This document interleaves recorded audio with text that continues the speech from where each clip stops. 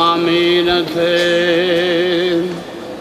În vremea aceea, după ce a trecut sâmbăta, când se lumina de ziua întâia săptămânii, au venit să vadă mormântul Maria Magdalena și cealaltă Marie.